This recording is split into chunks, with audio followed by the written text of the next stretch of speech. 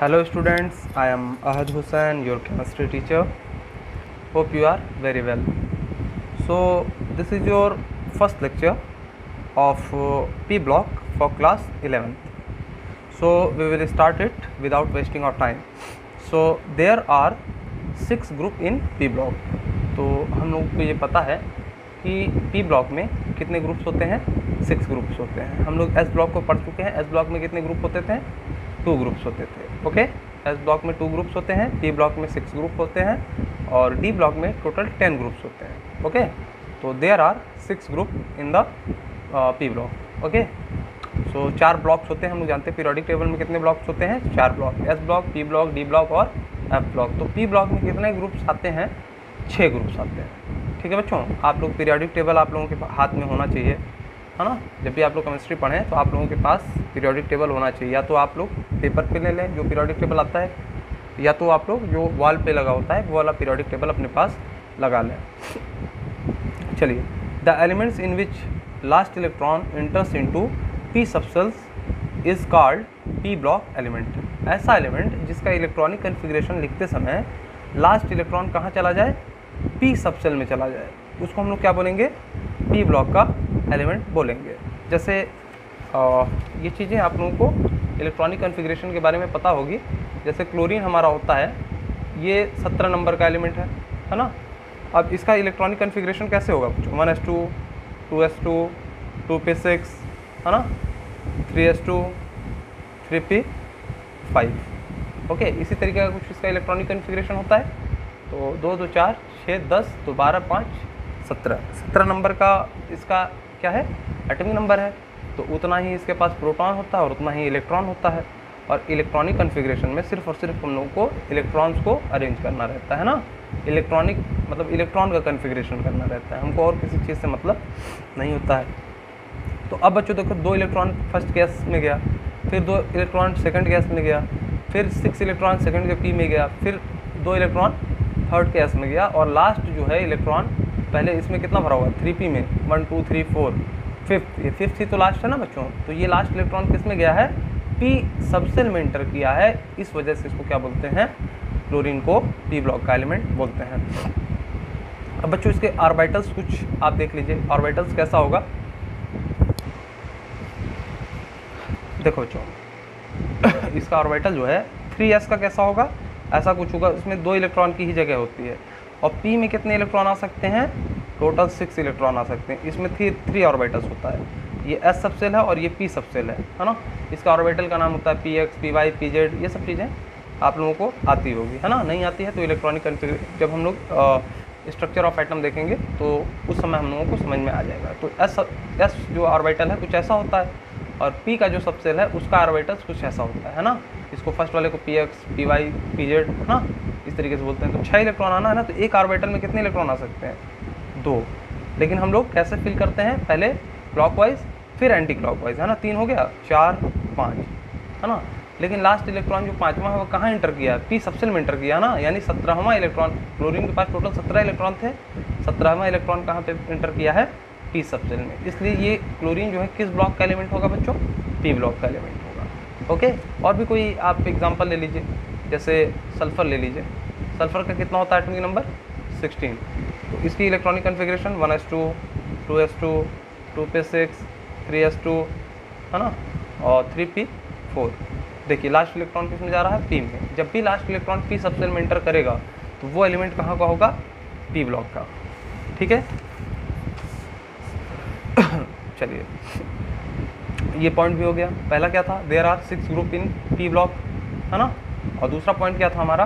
कि the element in which last electron enters in into P subshell is called P block element ऐसा element जिसमें last electron electronic configuration लिखते समय P subshell में inter करता है, उस एलिमेंट को पी ब्लॉक का एलिमेंट कहा जाता है। In P subshell we can fill maximum six electron अब हम देखें हैं क्यों सिक्स इलेक्ट्रॉन फिल कर सकते हैं, है ना?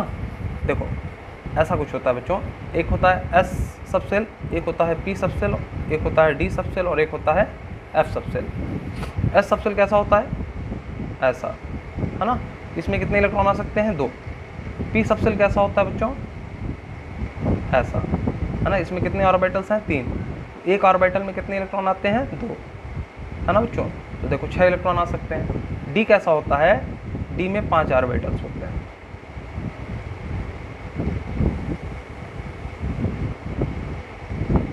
है ना बच्चों? देखिए अब इसमें कितने इलेक्ट्रॉन आएँगे?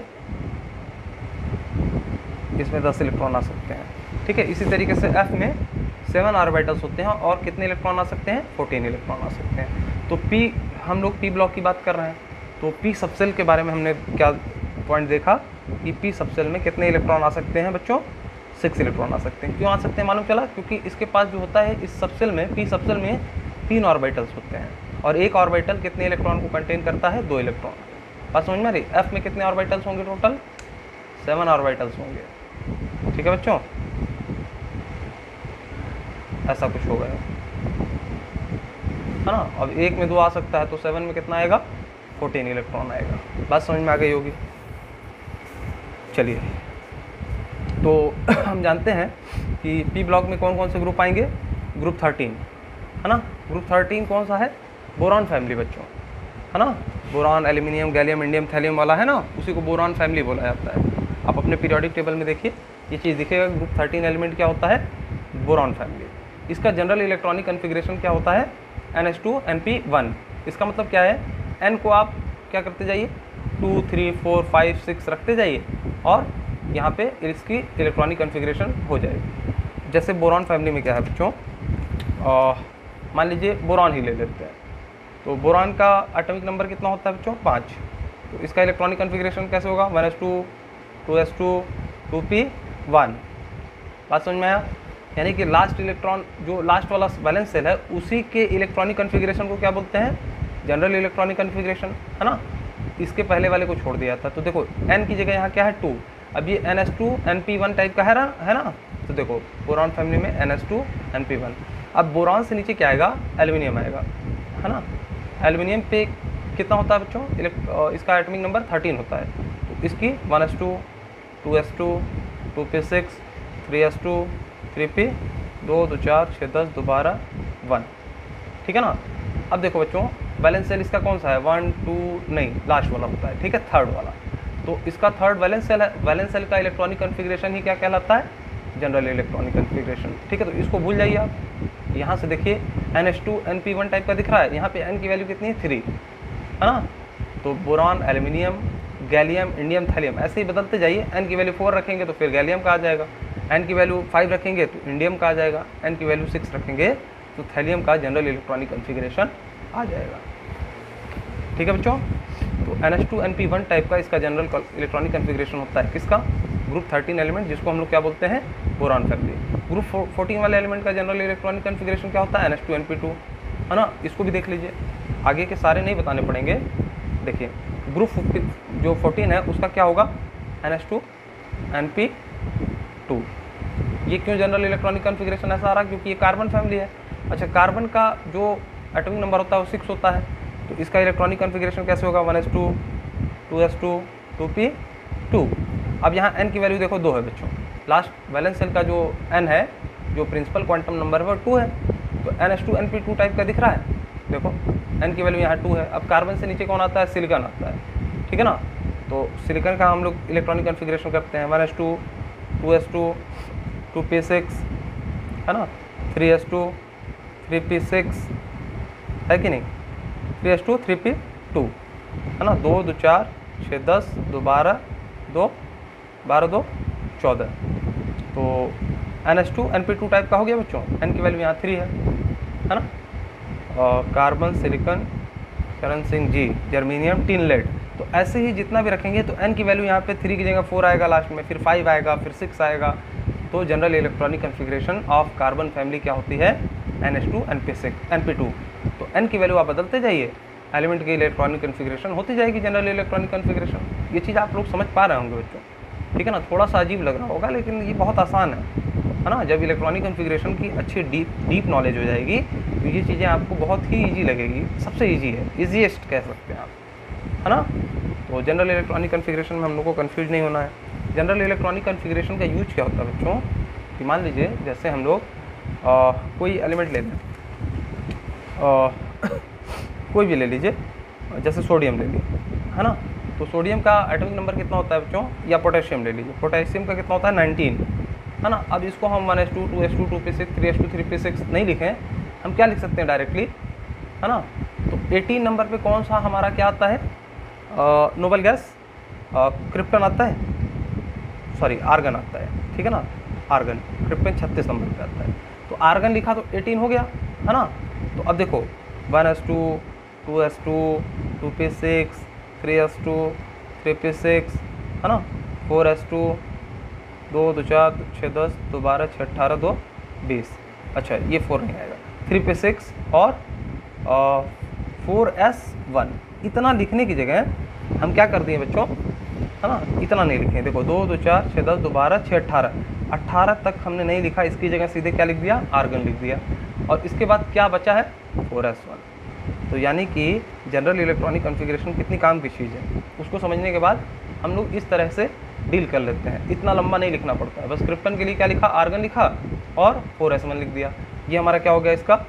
जनरल मतलब क्या है? सिंपली बहुत शॉर्ट में इलेक्ट्रॉनिक कन्फिग्रेशन हो गया ठीक है ना बच्चों? तो जनरल इलेक्ट्रॉनिक कन्फिग्रेशन को आप समझिए कि कहना क्या चाहता है। ठीक है उसको जब समझ जाएँगे तो ये चीज़, जो ये ट्रिक है कि जो भी बड़े बड़े आपके एलिमेंट हैं, ज़्यादा एटमिक नंबर के, उसकी इलेक्ट्रॉनिक कन्फिग्रेशन आपके लिए ईजी हो जाएगी। ठीक है ना? तो हर चीज़ को समझने के बाद कुछ ना कुछ आप कॉन्सेप्ट अपने पास से बिल्ड कर पाएँगे। तो ग्रुप 14 का हो गया n s two n p two group 15 का n s two n p three है ना? क्योंकि लास्ट वैलेंस सेल में इसमें पाँच इलेक्ट्रॉन होते हैं। देखो, पहले वाले में कितने थे वैलेंस सेल में? कितने थे? बोरान में थ्री थ्री इलेक्ट्रॉन थे ना? S two two s two two p one तो टू इसका वैलेंस सेल है। तो two s two two p one तीन इलेक्ट्रॉन है ना? दूसरे वाले में one s two two s two two p two यानी कि two s two two p two तो दो दो, चार इलेक्ट्रॉन हो गए कार्बन फैमिली में, है ना? वैलेंस सेल में चार इलेक्ट्रॉन हो गए। तो उसी तरीके से कार्बन के बाद नाइट्रोजन फैमिली आती हो, उसमें वैलेंस सेल में पाँच इलेक्ट्रॉन आते हैं। चाहे nitrogen, phosphorus, arsenic antimony bismuth, कुछ भी ले लीजिए आप, उसमें वैलेंस सेल में उसके कितने इलेक्ट्रॉन होंगे? Five electrons. ठीक है? और ग्रुप सिक्सटीन, ऑक्सीजन फैमिली, उसके वैलेंस सेल में कितने इलेक्ट्रॉन होंगे? सिक्स इलेक्ट्रॉन होंगे। है ना? ग्रुप सेवनटीन, कौन से हैं? हेलोजन फैमिली, जिस, जिसको फ्लोरिन फैमिली भी आप कहिए, हेलोजन फैमिली कही बात देखी है दोनों नाम है इसका। ठीक है? तो हेलोजन फैमिली में लास्ट सेल में कितने इलेक्ट्रॉन आते हैं? तो आपके सात इलेक्ट्रॉन आते हैं। और ग्रुप एटीन, जो कि हमारा नोबल गैस होता है, उसमें वैलेंस सेल में आठ इलेक्ट्रॉन आते हैं बच्चों। अब ये चीज़ आप लोग खुद से समझिए और खुद से आप लोग लिख लिख के इलेक्ट्रॉनिक कन्फिग्रेशन ट्राई करिए। नहीं समझ में आएगा तो टाइप कर दीजिएगा। सर, ये चीज़ नहीं समझ में आ रहा है। एक बार आप हमको बता दीजिए क्या है ये। ठीक है ना? मैं ये मान के चल रहा हूँ कि आप लोग को इलेक्ट्रॉनिक कन्फिग्रेशन अच्छे से आती है और आप लोग ये कर ले जाएँगे। और नहीं भी आता है तो आप लोग को एटमिक स्ट्रक्चर अभी पढ़ना है बच्चों। ठीक है? तो घबराइएगा नहीं, सब चीज़ समझ में आएगा। कोई इतनी बड़ी चीज़ नहीं है, बहुत आसान है। अच्छा पी ब्लॉक क्या कंटेन करता है? मेटल नॉन मेटल्स और मेटलॉइड्स पी ब्लॉक में छः ग्रुप हमने बताए थे ना boron carbon family nitrogen family oxygen family fluorine family और नोबल गैस फैमिली है ना? तो इसमें मेटल भी होता है पी ब्लॉक में नॉन मेटल भी होता है और मेटलॉइड भी होता है। देखो एस ब्लॉक में बच्चों, सारे के सारे group and one and group two क्या होते हैं? मेटल्स होते हैं। सिर्फ़ और सिर्फ़ किसको छोड़ दिया जाए तो? हाइड्रोजन नहीं। हाइड्रोजन मेटल नहीं होता है। बाकी सारे क्या है? Group one and group two lithium sodium potassium rubidium caesium है ना? Beryllium magnesium calcium strontium barium ये सारे क्या हैं? मेटल्स हैं। आप ग्रुप मतलब ग्रुप थ्री से ग्रुप ट्वेल्व तक आप देखेंगे तो सारे के सारे कंप्लीट मेटल है। डी ब्लॉक में सारा का सारा मेटल होता है ना? आ, कोई भी एलिमेंट ले लीजिए आप। स्कैंडियम टाइटेनियम वेनेडियम क्रोमियम है ना? आयरन कोबाल्ट निकल जिंक कुछ भी ले लीजिए है ना? ये ट्रियम जिरकोनियम, मोलिब्डेनम टेक्नीशियम जो भी आप लेंगे डी ब्लॉक का एलिमेंट, वो सारे के सारे क्या होंगे बच्चों? मेटल्स होंगे। बात समझ में आ रही है? और एफ़ ब्लॉक मेरा कंप्लीट मेटल होता है। एफ़ ब्लॉक भी क्या होता है बच्चों? कंप्लीटली मेटल होता है। तो सिर्फ़ और सिर्फ़ कौन हमारे पास ऐसा है जिसके पास मेटल नॉन मेटल और मेटलाइट तीन होता है? तो पी ब्लॉक हमारे पास ऐसा ब्लॉक है जिसके पास क्या होता है? मेटल्स भी होते हैं नॉन मेटल्स भी होते हैं और मेटलाइट होते हैं। ठीक है? एस ब्लॉक में complete metal except hydrogen d block complete metal f block complete metal सिर्फ़ और सिर्फ़ वेरिएबल इस तरीके की चीज़ें कहाँ मिलती हैं हमको? पी ब्लॉक में. पी ब्लॉक में क्या होगा? मेटल्स भी होगा नॉन मेटल्स भी होगा और मेटलाइट भी होगा. अब देखो कहाँ होगा बच्चों? तो बोरॉन फैमिली होगी carbon family nitrogen phosphorus arsenic antimony bismuth oxygen sulphur selenium tellurium polonium fluorine chlorine bromine iodine astatine helium neon argon krypton xenon radon ये हमारे सिक्स मेंबर मतलब सिक्स ग्रुप्स हो गए, है ना? इसके मेंबर्स के नाम लिख दिया हमने ठीक है बच्चों? अच्छा इसका एटम मतलब सब चीज़ न्यूमोनिक्स दिया था मैंने इसको याद करने के लिए, है ना? बे मतलब थर्टीन ग्रुप के लिए, बैगन, आलू, गाजर, इन थैला, boron aluminium gallium indium thallium Charan Singh ji, tin पर carbon silicon germanium tin lead फिर नाना पार्टिकल असरानी, सब भिखारी nitrogen phosphorus arsenic antimony bismuth वो स्टाइल से टीपो oxygen sulphur selenium tellurium polonium फिर कल बाहर आई आंटी, है ना? तो इसका क्या था? Fluorine, chlorine, bromine, iodine, astatine और इसका न्यूमोनिक्स क्या था? हीना, नीना और करीना और करें एक्सरे, है ना? तो ही, helium, neon, argon, krypton xenon radon तो इस तरीके से मैंने न्यूमोनिक्स में एक बेसिक लेक्चर बनाया था इस पर दो बेसिक लेक्चर बनाए थे इसके, है ना? तो बेसिक में आपको हमने समझाया था न्यूमोनिक्स कैसे याद किया जाता है। तो वो सारी चीज़ें आप लोगों को पता ही होगी, ठीक है? नहीं पता है तो लिखिए हैश टैग ज़ीरो वन है ना? आहत sir periodic table basic lecture periodic table आप वो वाला मत देख लीजिएगा इलेवंथ क्लास का, जो मैंने इलेवंथ के लिए पर्टिकुलर बनाया है बेसिक डालिएगा बेसिक डालेंगे तो वो मेरा बेसिक लेक्चर खुल के आएगा। नहीं तो फिर कोर्स वाला आपका इलेवंथ का खुल जाएगा, वो भी पीरियोडिक टेबल नाम से ही है है ना? चलिए तो फ़र्स्ट एंड सेकंड जो है, दो बेसिक्स आप लोग देख लीजिएगा, उससे आप लोगों को पूरा आइडिया हो जाएगा पीरियोडिक टेबल में। जिसने नहीं देखा बस उसके लिए जो देख लिया उसको इतना ज़रूरत नहीं है। चलिए तो हमारे पास ये छः ग्रुप हो गए। है ना, ये हीलियम को इसके साथ लिख दिया है, ये थोड़ा ऊपर रहता है, ये हीलियम यहाँ से स्टार्ट होता है helium neon argon krypton xenon radon तो इतना आप लोग को है, समझदार हैं, इससे नहीं कुछ लेना देना है फ्लोरीन जो है सेकंड पीरियड का मेंबर होता है और हीलियम फ़र्स्ट पीरियड का मेंबर होता है तो इस लाइन में नहीं आकर के ये थोड़ा ऊपर होता है ना? चलिए तो ये देखिए बोरान सिलिकन जर्मीनियम आर्सेनिक हाँ टेल्यूरियम एस्टाटीन और आपका एंटीमनी ठीक है ना? आर्सेनिक एंटीमनी ये सारे क्या है बच्चों? Boron silicon germanium arsenic antimony tellurium और एस्टाटीन क्या है? ये सारे के सारे मेटलॉइड है। अब इससे आप लोगों को पता होना चाहिए मेटलॉइड क्या होता है है ना? जैसे ये पूरी तरीके से मेटल भी नहीं होता, पूरी तरीके से नॉन मेटल भी नहीं होता, है ना? तो ये क्या होता है? जब हम लोग इलेक्ट्रिसिटी पढ़ते हैं तो जानते हैं। सेमी कंडक्टर टाइप का कुछ होता है ना बच्चों? तो सेमी कंडक्टर क्या होता है? जैसे एक तो कंडक्टर होता है, उसमें जब हम लोग हीट बढ़ाते हैं तो क्या होता है रजिस्टिविटी बढ़ती है मतलब रजिस्टेंस उसका वैल्यू ज़्यादा आता है, ठीक है ना? और एक होता है मेटलाइट मतलब एक होता है आपका सेमी कंडक्टर तो सेमी कंडक्टर में क्या होता है बेसिकली मेटलाइट वगैरह ही यूज़ होते हैं तो उसमें क्या होता है बच्चों टेम्परेचर बढ़ाने से मतलब करंट की वैल्यू बढ़ जाती है रजिस्टिविटी घट जाती है बच्चों, है ना? तो उस तरीके का कुछ यूज़ है। आप लोग जब सेल वगैरह तो टेंथ में भी देखे होंगे सोलर सेल वगैरह के बारे में जब पढ़े होंगे तो आपको पता रहा होगा कि सिलिकन का उसमें कुछ यूज़ होता है, ठीक है? तो इतना नहीं डीप में जाना है, हम लोग को बस ये जान लें कि मेटल और नॉन मेटल दोनों की तरह प्रॉपर्टी शो करता है, ठीक है ना?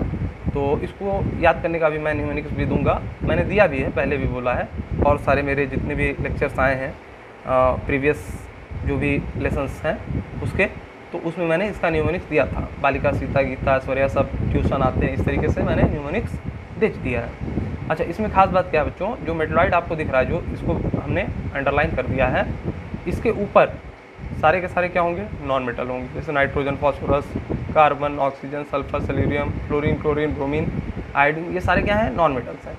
और इस मेटलॉइड के नीचे क्या है?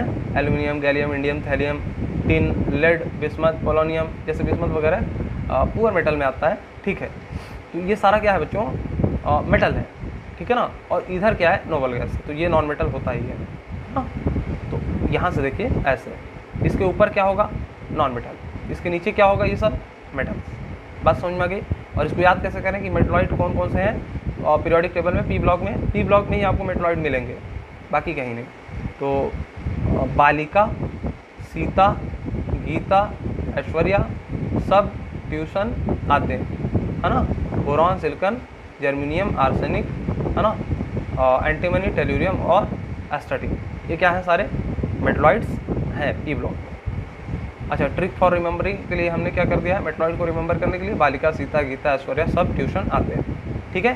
तो ये सब आप लोग समझते होंगे, देख लीजिए एक बार, याद कर लीजिएगा। वैसे भी एक बार सुन करके याद हो जाता है, बालिका सीता गीता, ऐश्वर्या सब ट्यूशन आते हैं। बालिका सीता गीता, ऐश्वर्या सब ट्यूशन आते हैं। बोरॉन सिलिकन और सीता गीता गीता जर्मीनियम और सब, एंटीमनी ट्यूशन, टेल्यूरियम आते हैं, है ना एस्टाटिक इस तरीके से बालिका सीता गीता, ऐश्वर्या सब ट्यूशन आते हैं, याद कर लीजिएगा। Note in p block below metalloids all are metals and above metalloids all are non metals तो ये मैंने समझा दिया कि अब जो मेटलॉइड है उसके नीचे क्या होंगे? मेटल्स होंगे और जो उसके ऊपर होंगे एलिमेंट्स वो क्या होंगे? नॉन मेटल्स होंगे। बोरॉन फैमिली के बारे में बात कर लेते हैं। जनरल इलेक्ट्रॉनिक कन्फिग्रेशन का क्या होता है? N s two n p one ठीक है? तो बोरॉन फैमिली में बोरॉन होगा एल्यूमिनियम होगा गैलियम होगा इंडियम होगा और थैलियम होगा, ठीक है? ये सारी चीज़ें तो अभी हम लोग देख चुके हैं। अच्छा ये किस पीरियड का होता है बोरॉन बोरॉन जो होता है? सेकंड एल्यूमिनियम, थर्ड पीरियड का होता है गैलियम, फोर्थ पीरियड का होता है इंडियम, फिफ्थ पीरियड का होता है और जो थैलियम होता है, वो सिक्स पीरियड का एलिमेंट होता है। तो इसकी जनरल इलेक्ट्रॉनिक कन्फिग्रेशन है ना ये, n s two n p one, लेकिन एन की वैल्यू टू रखिए तो two s two two p one, boron का जो है इलेक्ट्रॉनिक कन्फिग्रेशन आ जाएगा। और three s two, three p one, aluminium का आ जाएगा। ये वैलेंस सेल का इलेक्ट्रॉनिक कन्फिग्रेशन ही जनरल इलेक्ट्रॉनिक कन्फिग्रेशन कहलाता है बच्चों। ठीक है, और इसका यूज़ क्या है? बड़े बड़े इलेक्ट्रॉनिक कन्फिग्रेशन को लिखने की जगह, उसके लिए हम लोग शॉर्ट में इस तरह से यूज़ कर लेते हैं ना? और हम लोग को पता चल जाता है हम किस एलिमेंट की बात कर रहे हैं। Four s two four p one gallium का है five s two five p one indium का six s two six p one thallium का। ये सारी चीज़ें आप लोग बेसिक्स अपने से कवर करेंगे, खुद इलेक्ट्रॉनिक कन्फिग्रेशन लिख लिख करके देखेंगे। है ना बच्चों? चलिए ऑर्डर ऑफ़ साइज़ अब साइज़ का ऑर्डर देख लेते हैं इसमें boron aluminium gallium indium thallium में। Boron aluminium gallium indium thallium में हम लोग किसका ऑर्डर देख लेते हैं? साइज़ का। किसकी साइज़ बड़ी होगी? तो ये तो होता है एलिमेंट का order boron aluminium gallium indium thallium लेकिन साइज़ ऐसे नहीं होगा, जैसे नीचे जाते समय जनरली क्या होना चाहिए कि जैसे as we go move as we move down the group size should increases because new shell introduced जैसे जैसे हम नीचे जाते हैं, है ना ग्रुप में तो नया सेल ऐड हो जाता है ना, उसकी वजह से साइज़ में इंक्रीमेंट आना चाहिए। तो बोरॉन से ज़्यादा एल्यूमिनियम का होना चाहिए एल्यूमिनियम से गैलियम का ज़्यादा होना चाहिए। फिर उसके उससे ज़्यादा इंडियम और सबसे ज़्यादा किसका होना चाहिए? थैलियम का। लेकिन होता क्या है ऑर्डर? बोरॉन का सबसे कम होता है ठीक है ना? उसके उससे ज़्यादा एल्यूमिनियम आना चाहिए। लेकिन एल्यूमिनियम क्या होता है? गैलियम से भी ज़्यादा हो जाता है ठीक है ना? तो बोरॉन एल्यूमिनियम गैलियम में क्या बदल गया? कि गैलियम बड़ा होना चाहिए लेकिन गैलियम एल्यूमिनियम से छोटा हो गया ठीक है ना? फिर क्या है? टीन और लेड में आ, ये टीन जो है छोटा होता है टेल्यूरियम से थैलियम से। है ना टीन जो है sorry boron, gallium, aluminium, indium, thallium हाँ जो इंडियम है, वो थैलियम से छोटा होना चाहिए तो है भी, दिख रहा है, ना, लेकिन क्या है कि अप्रॉक्सीमेटली ये इक्वल होता है, दोनों का साइज़ अप्रॉक्सीमेटली इक्वल होता है। एक बार मैंने और इस चीज़ को बताया था आपको जब पीरियोडिक टेबल पढ़ाया था तो उसमें एक बार और बताया था कि इसका रीज़न क्या होता है, लगभग इक्वल हो जाने का, बढ़ना तो चाहिए ना, ज़्यादा बढ़ना चाहिए, क्योंकि थैलियम में नया सेल इंट्रोड्यूस हो गया इंडिया में एक सेल कम है तो इसका साइज़ छोटा होना चाहिए। लेकिन हम देखते हैं कि सिर्फ़ और सिर्फ़ चार अंगस्ट्रॉम का फ़र्क आता है। अंगस्ट्रॉम मतलब ten to the power minus ten metre एक मीटर को ten to the power ten time divide कर दिया जाए तो उसको हम लोग एक एंगस्ट्रॉम बोलते हैं। तो जो इंडियम है, वो लगभग सिर्फ़ और सिर्फ़ चार ही एंगस्ट्रॉम का छोटा है। है ना?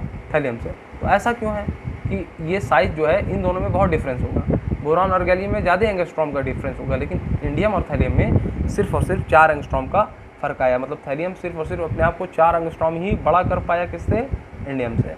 तो ऐसा क्या हुआ कि एल्यूमिनियम गैलियम से बड़ा हो गया, जो कि होना चाहिए नीचे जाने पर देखिए, गैलियम नीचे आ रहा ना तो गैलियम की साइज़ एल्यूमिनियम से बड़ी होनी चाहिए। लेकिन क्या हुआ? गैलियम छोटा हो गया एल्यूमिनियम से। ठीक? फिर हम देख रहे हैं कि इंडियम से थैलियम बड़ा होना चाहिए। काफ़ी बड़ा होना चाहिए, लेकिन क्या है? सिर्फ़ और सिर्फ़ चार अंगस्ट्रॉम का फ़र्क आ रहा है, यानी अप्रॉक्सीमेटली इक्वल बोल सकते हैं इसको। तो ये क्यों होता है बच्चों? गैलियम जो है एल्यूमिनियम से छोटा क्यों हो जाता है? क्योंकि गैलियम पे लगता है D block contraction D block contraction का मतलब जो डी जो सबसेल के इसके इलेक्ट्रॉन होते हैं, उसकी जो, क्या होता है, वो ज़्यादा डिफ्यूज होते हैं। डिफ्यूज होने की वजह से वो पुअर सील्डिंग इफ़ेक्ट दिखाते हैं। पुअर सील्डिंग दिखाते हैं, जिसकी वजह से न्यूक्लियस बैलेंस सेल के इलेक्ट्रॉन को अपने पास थोड़ा सा ज़्यादा पावर से खींच लेता है, उसका जो डिफेक्टिव उसके ऊपर ज़्यादा लगने लगता है वैलेंस सेल के इलेक्ट्रॉन पे, जिसकी वजह से उसकी साइज़ छोटी हो जाती है। ये चीज़ मैंने पीरियोडिक टेबल में पढ़ाया है। इसने नहीं पढ़ा है पीरियोडिक टेबल आप जाइए, पढ़ लीजिए, आपको ये सारी चीज़ें समझ में आ जाएगी। और इंडियम और थैलियम में क्या होता है? वो थैलियम क्यों थोड़ा सा ही बढ़ता है, ज़्यादा बढ़ना चाहिए, क्योंकि इसमें लेंथेनाइड कॉन्ट्रैक्शन लगता है। लेंथेनाइड कॉन्ट्रैक्शन में क्या होता है बच्चों?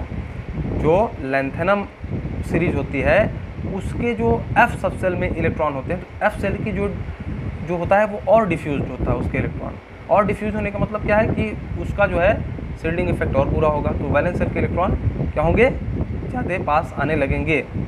तो अब आप लोग सोच रहे होंगे कि थैलियम जो है, ज़्यादा इसमें क्या लग रहा है? सील्डिंग इफ़ेक्ट कम लग रहा है। बहुत ज़्यादा कम है, जिससे डी ब्लॉक के जो डी सबसेल के मुकाबले थैलियम वाले में ज़्यादा क्या है? कम लग रहा है।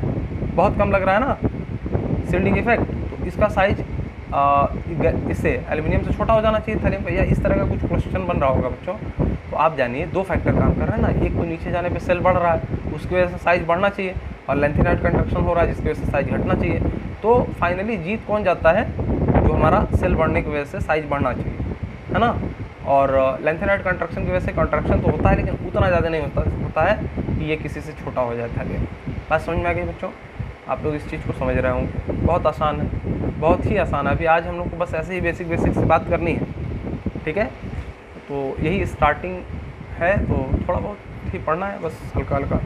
When we move when we move from third to fourth period the electron start filling in d subshell है ना? तो डी ब्लॉक कॉन्ट्रैक्शन क्यों लगता है? क्योंकि जब हम लोग uh, नीचे जाते हैं थर्ड से फोर्थ पीरियड में। अच्छा एक चीज़ और याद रखिएगा बच्चों।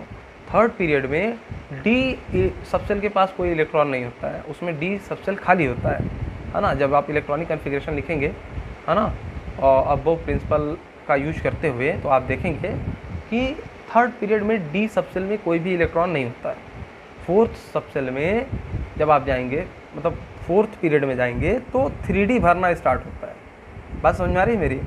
थोड़ी सी कॉम्प्लिकेटेड है, लेकिन कई बच्चों को ये आता होगा, है ना? तो जब भी हम लोग थर्ड से फोर्थ में मूव करते हैं पीरियड में, तब जाके डी सबसेल भरना फ्री हो स्टार्ट होता है। है ना? यानी कि डी का कौन सा वाला थर्ड वाला डी भरना स्टार्ट होगा? फोर्थ पीरियड में थ्री डी भरना स्टार्ट होता है। आप करके इलेक्ट्रॉनिक कन्फिग्रेशन आप बहु प्रिंसिपल के हिसाब से देखिएगा।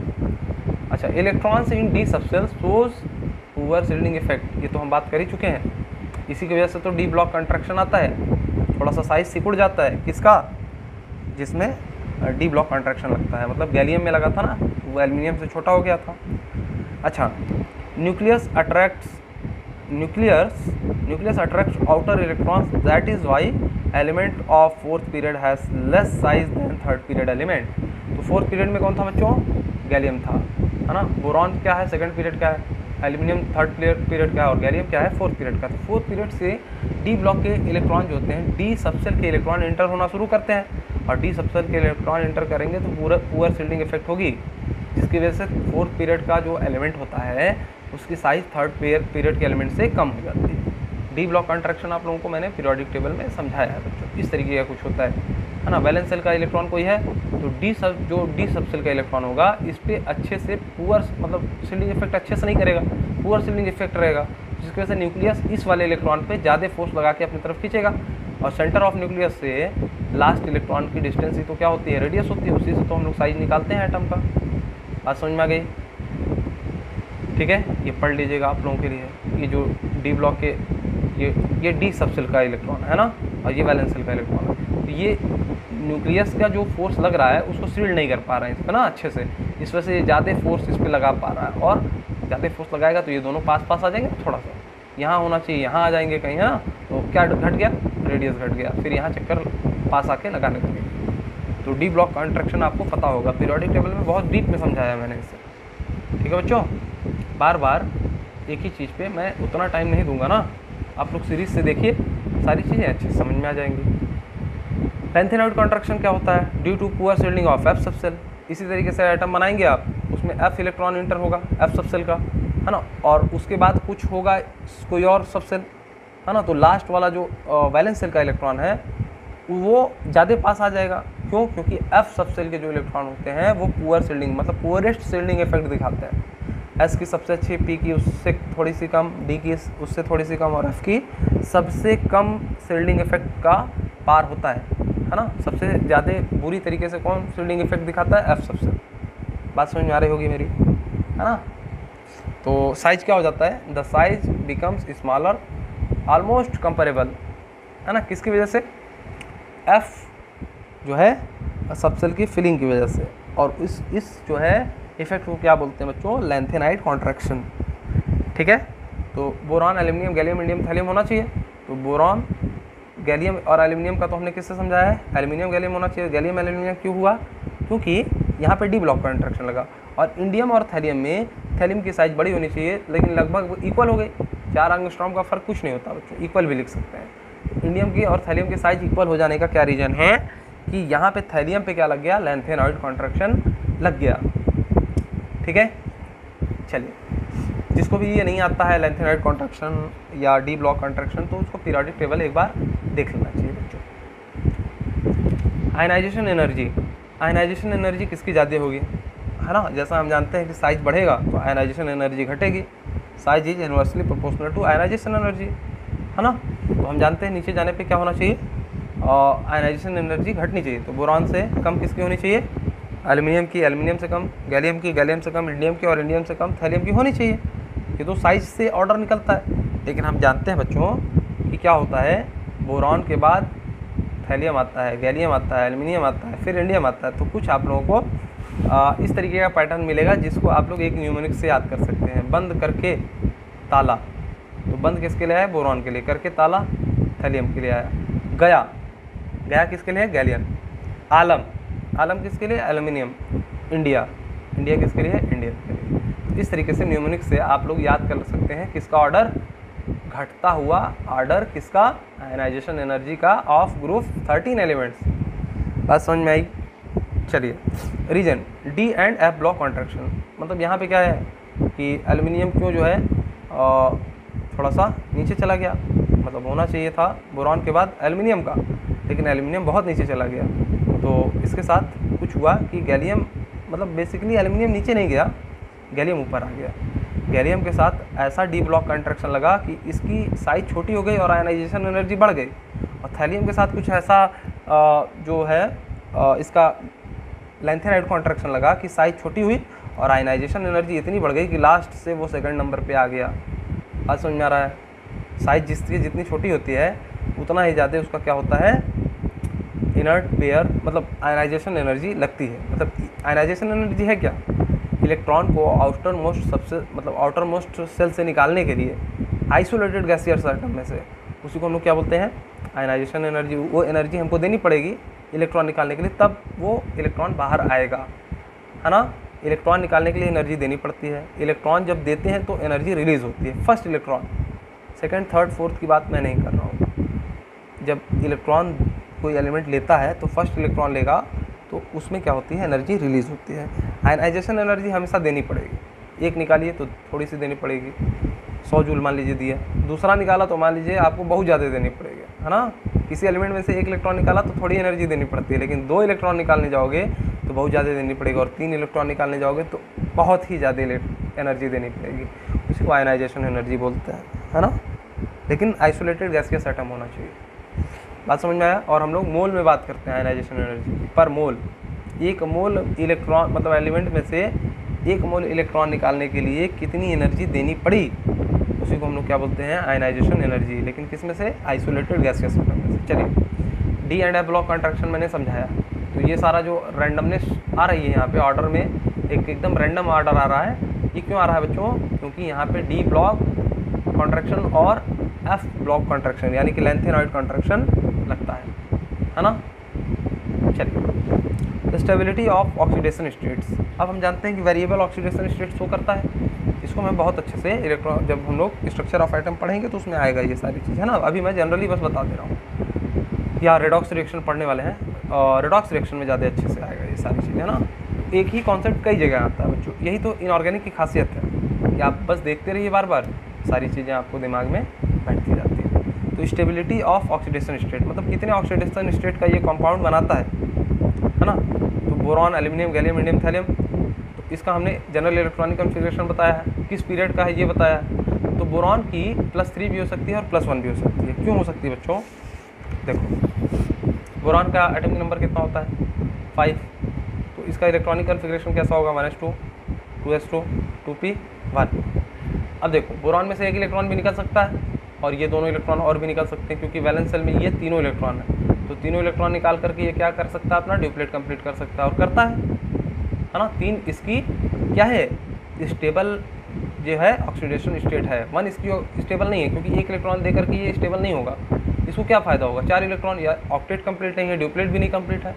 तो जब ये तीनों इलेक्ट्रॉन निकाल देता है, तब इसका क्या होता है? ड्यूप्लेट कंप्लीट होता है और उसको निकालने के बाद क्या हो जाता है बच्चों? बी थ्री के प्लस में चला जाता है, बोरॉन क्या चला जाता है? प्लस थ्री के ऑक्सीडेशन स्टेट में चला जाता है, और ये क्या होता है? स्टेबल होता है। तो ये क्या बनाएगा? बी एफ़ थ्री टाइप का कंपाउंड बनाएगा, क्योंकि फ्लोरीन की माइनस वन होती है है ना? और इसकी प्लस थ्री होती है। तो तीन फ्लोरीन आएँगे और इसके प्लस थ्री को न्यूट्रलाइज करेंगे। समझ में आया? तो बोरॉन की क्या होती है? Plus three oxidation state stable होती है। प्लस वन भी शो कर सकता है, लेकिन प्लस थ्री क्या होगी? स्टेबल होगी। अच्छा एल्यूमिनियम की क्या होती है? प्लस थ्री भी हो सकती है, प्लस वन भी हो सकती है। एल्यूमिनियम का एटमिक नंबर थर्टीन होता है ना? Electronic configuration, one S two two S two two P six, three S two, three P one. दो दो, चार छः दस, दोबारा एक, तेरह। तो या तो ये एक इलेक्ट्रॉन इसमें से निकाल दें, है ना? तो ए एल प्लस बनाएगा। या दो और इलेक्ट्रॉन, क्योंकि देखिए थर्ड थर्ड सेल ही इसका वैलेंस सेल है। वैलेंस सेल में से ही तो निकालेगा इलेक्ट्रॉन को। ठीक है मैक्सिमम तीन इलेक्ट्रॉन ही कोई एलिमेंट निकाल सकता है उसके सेल में से। लेकिन जब प्रोबेबिलिटी बनेगी इस तरीके से कि तीनों इलेक्ट्रॉन निकालने के बाद क्या हो जाए, उसके पहले वाला जो सेल हो, वो कम्प्लीटली फिल्ड हो जाए। तो यहाँ पे देखिए ऑक्लेट ऑक्टेट कंप्लीट हो जा रहा है। दो और छः दस। दो और छः आठ। और जब थोड़ा सा कम एटमिक नंबर वाला एलिमेंट होता है तो वो डुप्लेट कंप्लीट करता है। यानी दो इलेक्ट्रॉन बैलेंस सेल में उसके हो जाए लास्ट वाले। लास्ट वाले से पहले में। बैलेंस सेल में से इलेक्ट्रॉन निकालने के बाद डुप्लेट कंप्लीट होता हो बैलेंस सेल के मतलब उसमें से इलेक्ट्रॉन निकालने के बाद ऑक्टेट कंप्लीट होता हो तो क्या होगा बच्चों? वो स्टेबल हो जाएगा। थोड़ी सी वाइस में प्रॉब्लम और हो सकती है बच्चों क्योंकि मेरी थोड़ी सी स्वास्थ्य जो है ख़राब था अभी सही हो गया है लेकिन हल्का फुल्का वीकनेस रह जाती है बच्चों है ना? तो माइंड मत करिएगा इतना अगर कुछ भी मेरी वाइस में प्रॉब्लम हो रही हो तो क्या होता है बच्चों? एल्यूमिनियम में आ, प्लस थ्री का ऑक्सीडेशन स्टेट इसका स्टेबल होगा। तो हम जानते हैं कि A L C L three type का कंपाउंड बनाता है। ठीक है ना? क्यों? A L C L three देखो थ्री थ्री पी में से एक इलेक्ट्रॉन निकला और थ्री एस में से दो इलेक्ट्रॉन निकल गया। ठीक है? तो तीन इलेक्ट्रॉन निकला, इसलिए इसमें इलेक्ट्रॉन का जो रिमूवल होता है, वही तो प्लस चार्ज देता है। तो प्लस थ्री इस पर आता है। तो इसका भी स्टेबल कौन होगा बच्चों? प्लस थ्री गैलियम का। गैलियम का भी ऐसे ही प्लस थ्री होगा। इंडियम का। इंडियम का भी प्लस थ्री होगा। लेकिन थैलियम का प्लस थ्री स्टेबल नहीं होगा प्लस वन स्टेबल होगा। ठीक है? क्यों होगा प्लस वन अभी उसका रीज़न देखेंगे। Stable oxidation state of thallium is plus one rest all have plus three stable मतलब सारे के सारे के पास क्या है? प्लस थ्री स्टेबल स्टेबल है। है ना? किसी भी माइनस वन के साथ तीन एलिमेंट चाहिए रहेंगे उसको। है ना? मान लो एल्यूमिनियम के साथ क्लोरीन आना चाहे तो एल सी एल थ्री आएगा। ब्रोमीन आना चाहे तो एल बी आर थ्री बनेगा। है ना? बोरॉन के साथ आना चाहे तो बी एफ़ थ्री टाइप का कंपाउंड बनेगा। गैलियम के साथ G A C L three आएगा। G A B R three आएगा जी ए आई थ्री इस तरह का कुछ भी बनेगा। बात समझ में आ रहा? तो इसका प्लस थ्री ऑक्सीडेशन स्टेट होता है। लेकिन थैलियम का क्या होगा बच्चों? कि इसके साथ मान लो टी एल सी एल बनाएगा टी एल बी आर बनाएगा, इस तरह का कंपाउंड बनाएगा, क्योंकि तो इसका oxidation state plus one stable है। अगर T L C L three बना दिया तो वो ज़्यादा देर रुकेगा नहीं बच्चों। वो ज़्यादा देर तक वो कंपाउंड नहीं रुक सकता, वो नॉन स्टेबल होगा मतलब स्टेबल नहीं होगा। अच्छा रीज़न क्या है? इनर्ट पेयर इफ़ेक्ट क्यों ये प्लस वन शो करता है? इनर्ट पेयर इफ़ेक्ट है ना? अच्छा इनर्ट पेयर का मतलब होता है, देखो, समझाते हैं। We know inert pair effect is applicable on higher elements मतलब जिसका मास ज़्यादा होता है, नीचे जाएँगे एलिमेंट मतलब ग्रुप में नीचे जाएँगे तो उस पर इनर्ट पेयर का इफ़ेक्ट लगता है। नीचे जाने पे इनर्ट पेयर इफ़ेक्ट पड़ता जाता है। The inert inertness of inner N S two electrons towards a reaction is called inert pair effect मतलब क्या है बच्चों, देखो। अच्छा इस फैमिली का जनरल इलेक्ट्रॉनिक कन्फिग्रेशन क्या था? N S two N P one अब थैलियम का कुछ होगा आपका, जो है थैलियम का कुछ इसका एटॉमिक नंबर होगा। आप लोग देख लीजिएगा। ठीक है? तो इसमें जो होता है N S two N P one तीन इलेक्ट्रॉन निकल जाना चाहिए इसके लास्ट वैलेंस सेल में से। लेकिन क्या होता है, ये वाला तो निकल जाता है एक इलेक्ट्रॉन लेकिन ये एस जो होता है, ये इनर्ट पेयर इफ़ेक्ट शो करता है। ये पार्टिसिपेट नहीं करना चाहता है रिएक्शन में। ये अपने इलेक्ट्रॉन को देना नहीं चाहता है, ये क्यों? क्योंकि ये इनर्ट पेयर इफ़ेक्ट शो करता है। ये तो याद रखना पड़ेगा। और ये याद रखिए कि जो सबसे नीचे किसी भी ग्रुप में एलिमेंट होंगे ना, वो इनर्ट पेयर इफ़ेक्ट शो करेंगे। मतलब उसके एस सबसेल के जो इलेक्ट्रॉन होंगे, वो रिएक्शन में पार्टिसिपेट नहीं करेंगे। रिएक्शन कब होती है केमिकल रिएक्शन बच्चों जब भी इलेक्ट्रॉन का ट्रांसफ़र होता है है ना? तो इसीलिए कह रहे हैं। जब ये ट्रांसफ़र होगा, तभी तो केमिकल रिएक्शन में ये पार्टिसिपेट करेगा। ये वाला तो कर रहा है। एन पी वन वाला, लेकिन ये नहीं कर रहा है। बस समझ में इसी को इनर्ट पेयर इफ़ेक्ट कहा जाता है। ठीक है बच्चों? अब हम लोग देख लेंगे। थैलियम में समझ में आया क्यों? प्लस वन ऑक्सीडेशन स्टेट उसका स्टेबल था, बाकी सब प्लस थ्री में थे। क्योंकि वो इनर्ट पेयर इफ़ेक्ट शो करता है। Melting point we know boron family is an exception rich family हम लोग जानते हैं कि बोरॉन में कितना एक्सेप्शन है। है ना? एल्यूमिनियम का साइज़ जो है गैलियम से क्या हो रहा था, बढ़ जा रहा था। और इंडियम और थैलियम का लगभग बराबर हो जा रहा था, है ना? और इसी तरीके से अभी भी हम लोग ऑक्सीडेशन स्टेट देखे हैं तो थैलियम का प्लस वन है, बाकी का प्लस थ्री है तो काफ़ी एक्सेप्शन है ना? है ना? तो usually metals have higher high melting point than non metals generally क्या होता है मेटल्स का मेल्टिंग पॉइंट ज़्यादा होता है। किससे? नॉन मेटल्स से। ठीक है? है ना? बोरॉन है लेकिन क्या हो रहा है? देखो, किस ग्रुप की बात कर रहा है? Group thirteen boron aluminium gallium indium thallium है उसमें। तो हमारा क्या होता है जनरली मेटल का मेल्टिंग पॉइंट ज़्यादा होना चाहिए नॉन मेटल से। लेकिन boron has high melting point as compare to aluminium gallium indium thallium boron की मेल्टिंग पॉइंट ज़्यादा क्यों हो गई? नीचे जाने पे तो मेल्टिंग पॉइंट बढ़ना चाहिए बच्चों, क्योंकि मास बढ़ रहा है है ना? मास बढ़ रहा है।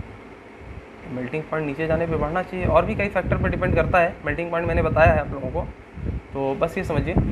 कि नीचे जाने पे मेल्टिंग पॉइंट बढ़ना चाहिए। ऐसा क्या हो जा रहा है कि सबसे कम जिसका मेल्टिंग पॉइंट होना चाहिए, वो सबसे ज़्यादा हो जा रहा है। तो आप देखिए बच्चों because solid boron has usually structure of icosahedron icosahedron structure होने की वजह से जब ये सॉलिड स्टेट में बोरॉन होता है तो ये कुछ आइकोसा हाइड्रन टाइप का स्ट्रक्चर बना लेता है। है ना? जैसे डायमंड क्या होता है? डायमंड के पास थ्री स्ट्रक्चर कुछ होता है ना? जाइगेंटिक स्ट्रक्चर होता है, उसी की वजह से तो वो इतना मज़बूत होता है। उसी तरीके से आइकोसा हाइड्रल होने की वजह से, आइकोसा हाइड्रल होने की वजह से बोरॉन सॉलिड फॉर्म में बहुत ज़्यादा इसका मेल्टिंग पॉइंट हो जाता है। ठीक है ना? सबसे सबसे ज़्यादा हो जाता है। अब आइकोसा हाइड्रन आप लोग सोच रहे होंगे कैसा स्ट्रक्चर होता है। तो इसके बारह कॉर्नर होंगे बच्चों। ये कॉर्नर कितने होंगे? ट्वेल्व और कितना होगा? ट्वेल्व ट्वेंटी फेसेस होगा। मतलब ये जो ट्राइंगल टाइप का दिख रहा ना ऐसे ऐसे ट्वेंटी फेस होंगे। ठीक है? कितने कॉर्नर होंगे? ट्वेल्व कितने फेस होंगे? ट्वेंटी इसी को क्या बोलते हैं हम लोग? आइकोसा हाइड्रन बोलते हैं। अच्छा ये कॉर्नर पे कौन होगा बच्चों? बोरॉन होगा ना? यहाँ पे तो बोरॉन होगा ना बच्चों? देखो, एक बोरॉन तीन बॉन्ड बनाया है। एक बोरॉन तीन बॉन्ड बनाया है। अब यहाँ देख के सोच रहे हो बच्चों, चार बॉन्ड बन गया। ऐसा नहीं बच्चों, ये पीछे साइड का है ना? एक, दो, तीन। एक, दो फिर ये किसी और के साथ जुड़ जाएगा, है ना? इस तरह का कुछ बनता है ना? बस समझ रहा इसी को आइकोसा हाइड्रन कहते हैं। अब इसको बहुत समझना है तो गूगल पे आप लोग थोड़ा सर्च करिए पहले। ठीक है? आइकोसा हाइड्रन के बारे में ज़्यादा जानकारी मिल जाएगी। इतना डीप जाना ही नहीं है। बस रीज़न दे देना है कि क्यों ज़्यादा बोरॉन स्टेबल होता है। मतलब मेल्टिंग पॉइंट ज़्यादा क्यों होता है? इसका बहुत ज़्यादा अपने ग्रुप में सबसे कम होना चाहिए। तो आप लोग रीज़न देंगे because of that boron in solid form forms hedron structure which has twelve corner and 20 faces. That is why it becomes more stable and it has the highest melting point in their in its uh, group. Okay? तो इस तरीके से आप बना करके answer कर सकते हैं। ठीक है ना? Due to the icosahedron structure boron has almost double boiling boiling point and melting point than others इसका मेल्टिंग पॉइंट और बॉइलिंग पॉइंट बोरॉन का क्या हो जाता है? ज़्यादा हो जाता है। सॉलिड अपने सॉलिड फेम फेम में सॉलिड फ़ेज़ में। अच्छा अब बात कर लेते हैं आज का। डेंसिटी के बारे में। यही लास्ट आपका। डेंसिटी क्या होता है? अच्छा मास बढ़ने पे हम जानते हैं डेंसिटी बढ़ती है तो ऊपर से नीचे आते हैं बोरान एल्यूमिनियम गैलियम थैलियम में तो सबसे ज़्यादा थैलियम की होनी चाहिए? डेंसिटी है ना?